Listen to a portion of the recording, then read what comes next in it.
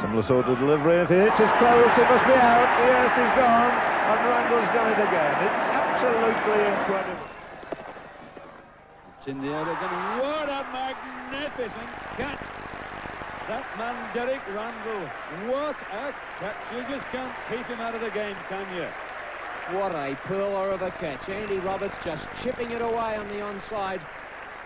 We see Derek Randall diving not only sideways but behind him and crashing to the ground.